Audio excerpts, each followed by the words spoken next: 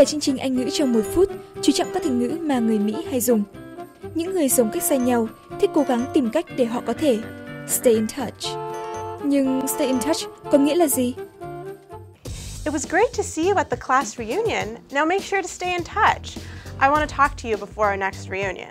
I will. I'll stay in touch and I'll call you sometime next week. Stay in touch là một cách nói khác của communicate hoặc talk to someone regularly. Về cơ bản, khi bạn nói, bạn muốn stay in touch khi trò chuyện. Điều này có nghĩa là bạn muốn tiếp tục được nói chuyện với người nào đó mà bạn sẽ không gặp thường xuyên.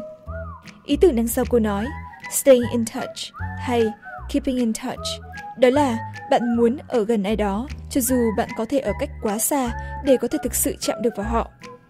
Bạn có thể stay in touch bằng cách liên lạc thường xuyên qua điện thoại, email, chat trên mạng hay nhiều cách khác để có thể giữ liên lạc với người bạn muốn.